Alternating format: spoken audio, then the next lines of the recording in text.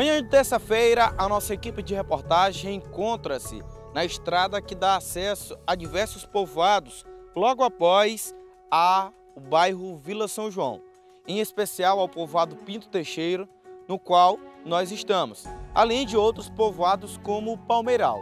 Segundo as informações, na manhã dessa terça-feira, o senhor Raimundo Alves Ribeiro acabou perdendo o controle da sua motocicleta quando ele passava aqui por esta ponte. Logo em seguida, ele acabou caindo embaixo da ponte, mais precisamente nesse local que você acompanha nas imagens desse momento. Senhor Raimundo Alves, segundo as informações de populares, teriam já visto ele na área aqui do bairro Vila São João, é, ingerindo bebida alcoólica. Essas são as informações que a nossa equipe acabou recebendo. Porém, quando ele acabou passando por esta ponte, ele acabou perdendo o controle da motocicleta. Logo em seguida, ele acabou caindo e a motocicleta também caiu por cima dele. Mais precisamente em cima de algumas pedras que fica embaixo da ponte, que passa sobre o garapé, como é conhecido, o garapé do Pinto Teixeira. Segundo as informações, o senhor Raimundo Alves mora em um povoado logo após o povoado Chapadinha, mais ou menos distante 15 quilômetros do local no qual estamos. É importante salientar e falar a respeito da ingestão de bebida alcoólica nesse momento. Para você ter uma ideia, nessa mesma localidade tem um desvio.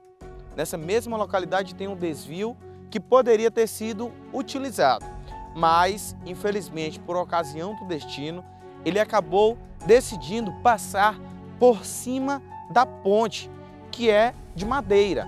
Logo em seguida, ele acabou perdendo o controle da motocicleta e caído exatamente nesse local, próximo a essas estacas e a estas pedras que fica embaixo da ponte. Vale também salientar que a ponte ela não possui corrimão de segurança.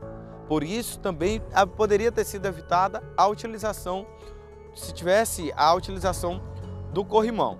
Mas o desvio era o trajeto mais seguro que as pessoas acabam utilizando quando passam aqui por esse local. Vale salientar que nesse período do verão é comum as pessoas utilizarem essa parte do desvio. A ponte só é utilizada no período do inverno, quando as águas do garapé acabam subindo. Por isso é importante é, observarmos e termos a noção de que a ingestão de bebida alcoólica com a direção não combina. Por conta disso, é, inclusive diversas pessoas que acabaram passando aqui pelo local, eles sempre utilizam desse desvio para poder é, evitar de passar aqui por cima da ponte para evitar esse risco da queda neste local. A queda foi de mais ou menos aqui uns 4 a 5 metros de altura. Portanto, o peso da motocicleta, quando caiu por cima do senhor Ribeiro, infelizmente acabou o levando ao óbito. Inclusive, a equipe da Polícia Civil esteve aqui no local, a equipe também da funerária estiveram no local e logo em seguida foram em direção à cidade de Bacabal para levar o corpo do, do senhor Ribeiro até o Hospital Geral de Bacabal para que possa é, ser feito o laudo cadavérico, todos os detalhes que são de praxe nesse momento, para logo em seguida ser liberado para o velório e logo em seguida o sepultamento. Importante mais uma vez reforçar a ingestão de bebida alcoólica e a direção não combina. Mais uma vez e mais uma prova está aqui. Poderia ter sido evitado, passado pelo desvio, mas infelizmente ele acabou vindo a óbito após cair de cima dessa ponte. Daniel Azevedo, do Pinto Teixeira, para os estúdios da TV Cidade.